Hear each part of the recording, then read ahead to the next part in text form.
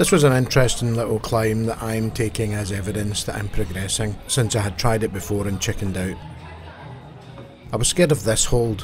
The problem with it is the surface is almost vertical, which means holding it from below I would find it really difficult to hold.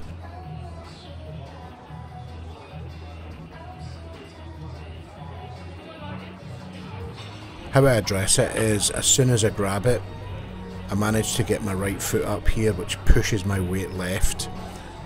Once my weight's left, the hold becomes a lot better and then it's all about trying to make sure my weight continues to be left of my hands. Then I can just get positioned for the final move.